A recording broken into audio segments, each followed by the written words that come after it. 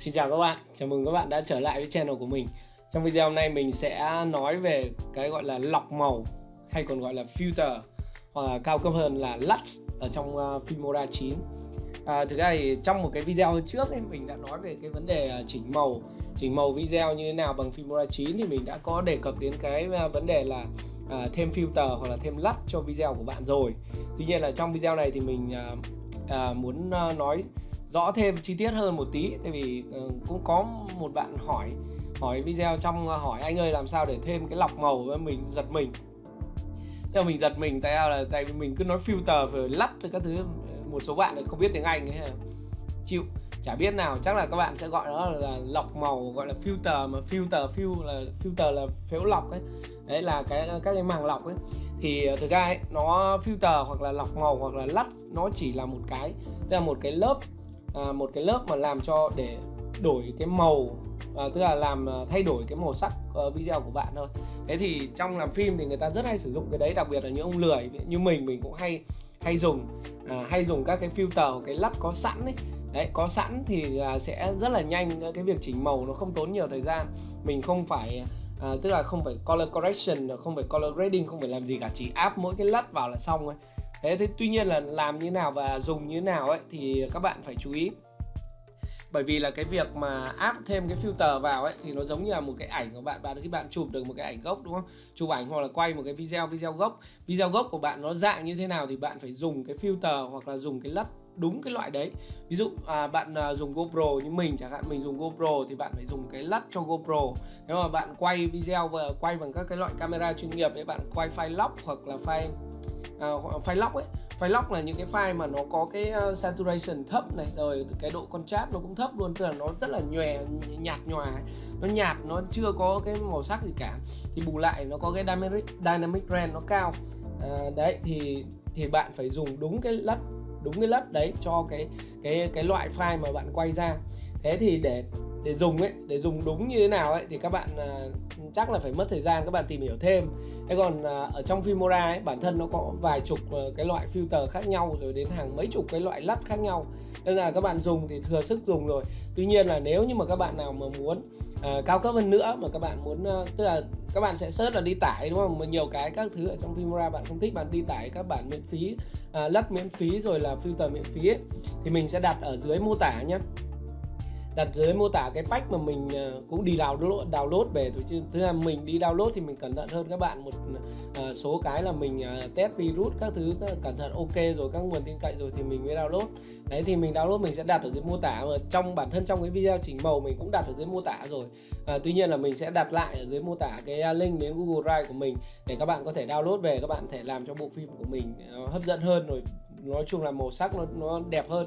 Đấy thì quan trọng là tải về dùng. Nhưng mà khi mà dùng như thế nào ấy thì các bạn uh, tùy nhé tùy theo cái sở thích của bạn uh, dùng như thế nào cho nó đúng. Đấy, thì ok. Thế còn bây giờ ở trong Filmora nhé mình sẽ uh, giới thiệu qua về ở trong Filmora như thế nào. Đây uh, đây là cái timeline này. Đây là timeline hôm trước mình vừa đi cái Hoàng Thành Thăng Long ấy.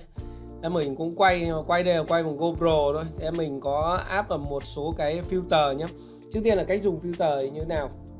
À, cách dùng filter ấy thì ở trong Filmora thì bạn à, sẽ đi đến mục uh, effect này. Effect đấy xong đấy ở effect thì trong cái mục included này tất cả bạn ở Filmora 9.6 trở lên hoặc 9.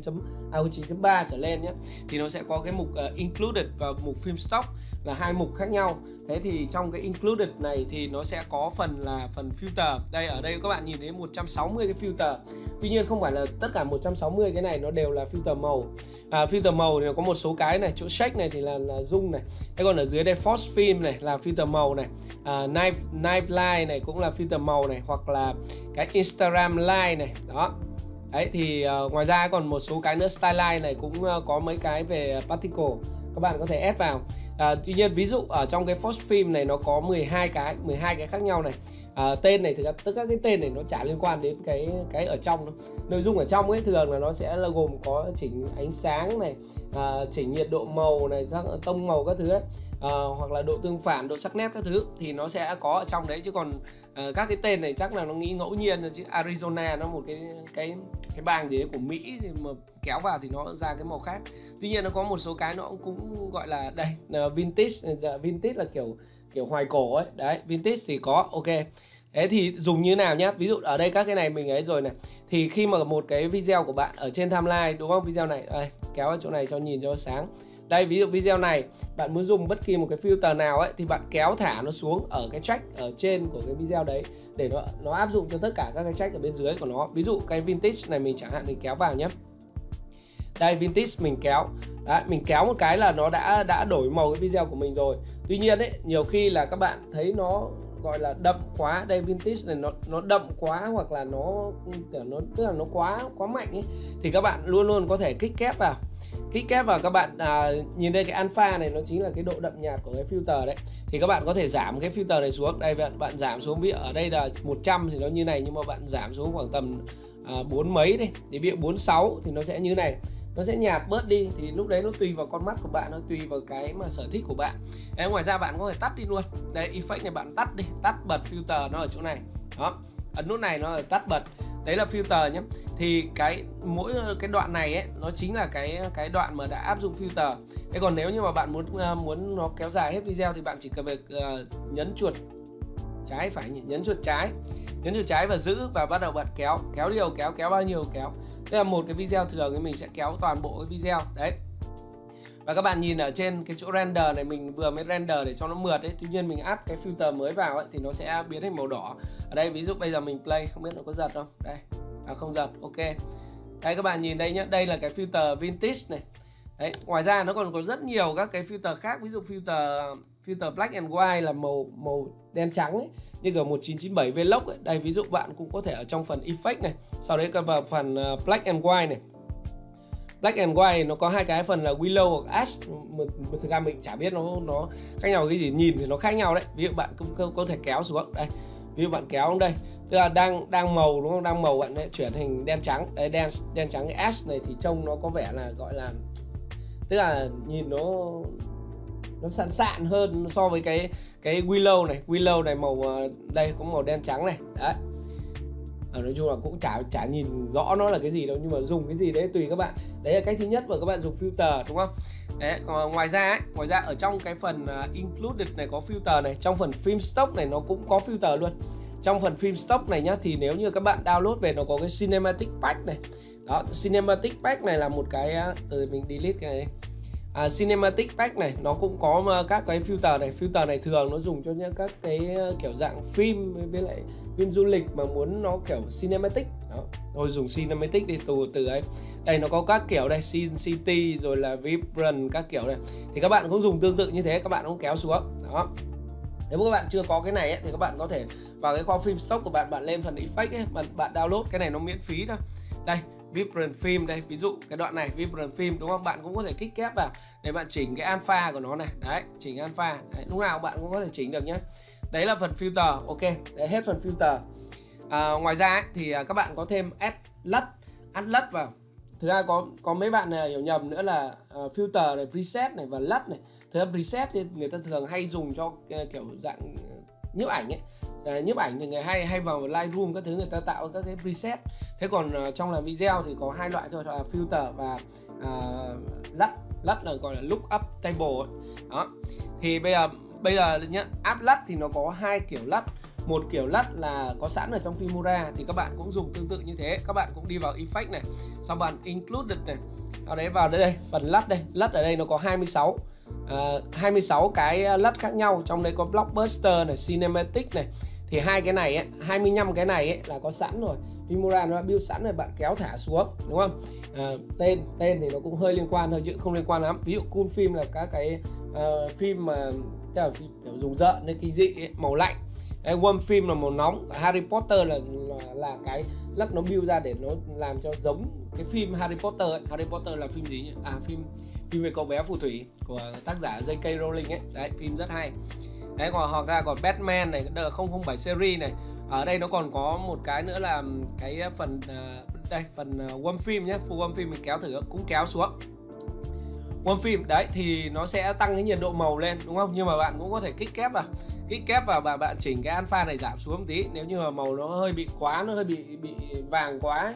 tại vì nhiệt độ màu càng tăng thì nó sẽ càng vàng. Còn bạn nếu mà bạn giảm giảm nhiệt độ màu xuống thì nó sẽ càng càng lạnh ấy, kiểu màu xanh blue ấy. Đấy ok đó là cái lắt nhé cách dùng lắt. Thì um, đây mình xóa này đi. Cái lắt mà ví dụ các cái ờ, cái, cái ừ, blogger du lịch ấy người ta hay dùng ấy đó là cái ờ, uh, Teal and Orange. Teal and Orange thì bạn vào phần uh, Cinematic này. Trong đây có này. Đây là Teal and Orange này. Teal là màu cam ấy. Teal Orange à còn màu xanh ấy. Xanh ấy còn uh, Orange là màu cam. Tức là xanh và cam. Uh, có những người còn hướng dẫn là để tạo ra cái này ở trên uh, YouTube cơ. Nhưng mà đây bạn có thể kéo thẳng vào. Đấy kéo thẳng vào sau đấy cũng kích kép vào. Chỉnh. Ok nhá. Đấy là chỉnh. Chỉnh lắt. Thì cái đấy là cái thứ nhất. Cái thứ hai nữa là bây giờ bạn không muốn dùng các cái lắt ở đây đúng không? Không muốn dùng các cái lắt ở đây mà bạn muốn uh, dùng cái lắt mà bạn vừa đao được ở trong cái ờ, link uh, trong dưới mô tả của mình. Đúng không? Lắt đây ví dụ mình show cho các bạn xem. Đây là cái folder mà folder Google Drive này. Đây folder lắt này có một đống luôn. Chắc phải đến mấy trăm cái mình bảy tám trăm cái. Mình chả dùng hết. Đây có cả GoPro rồi là uh, Rex C707 A709 rồi là uh, C-Lock rồi các kiểu luôn. Nhiều lắm. Đấy, thì các bạn uh, có thể tìm và dùng dần nhé thì ở trong Filmora thì các bạn có thể hai cách là một là các bạn là uh, kích kép vào kích kép vào cái video. Kích kép vào cái video nếu như mà bạn muốn áp cho một cái cho một cái đoạn video thôi một đoạn ngắn thôi nhé thì các bạn kích kép vào sau bạn đi đến phần color. Đó, trong phần color này ấy, thì ngoài các cái công cụ chỉnh cơ bản này ở phần color mình đã à, đã hướng dẫn các bạn rồi thì các bạn ở dưới đây có phần 3D này 3D LUT này. Đấy thì các bạn có thể uh, kích vào nút này uh, chọn các cái LUT có sẵn ở trong Filmora ở đây hoặc là các bạn có thể load load new lắt tức là nạp thêm các cái lắt mới. Thì các bạn nạp thêm ấy, sau khi bạn nạp thêm rồi thì nó sẽ nằm ở trong Fimura luôn. Và lần sau các bạn dùng thì các bạn chỉ cần kéo thế thôi. Ví dụ uh, nạp thêm đây nhé mình ví dụ mình kích vào load new uh, new lắt này. Rồi sau đấy là đây là cái sẵn này. Đây mình sẽ đi vào cái folder mà mình ờ, mình mình ấy nhá. Đây đi vào cái folder của của mình ấy mà mà mình đã sẽ chia sẻ cho các bạn ấy. Đây này free lát này đấy, 738 MB cơ đây bạn kích vào đây. Sau đấy là ở đây tất cả có những cái này. Ví dụ uh, mình dùng cho GoPro đúng không? Ở đây nó có một cái GoPro đây GoPro uh, uh, color grading pad này à, pack này. Mình kích kép vào. Uh, kích kép vào đây đấy thì ở đây nó có tất cả cái file này. Thì mình sẽ chọn một cái file này để add vào Filmora và áp dụng cho cái uh, cái video đấy à, tuy nhiên ở trong đây ấy, thì khi mà trước khi ấy nó có cái review này review này nó có gồm có các ảnh ấy, các cái ảnh mà đã upload vào thì trông nó như nào ấy thì các bạn nhớ xem review trước sau đấy nhớ cái tên của nó. Ví dụ cái nhớ cái tên của nó sau đấy chọn ở đây. Ví dụ cái này Zcam này à, Ztam chứ nhầm. Đấy bạn kích kép vào chọn. Đấy ok đấy là nó ra ra màu như này. Màu như này nhưng mà chỉ cho một cái video này thôi. Đấy thấy chưa?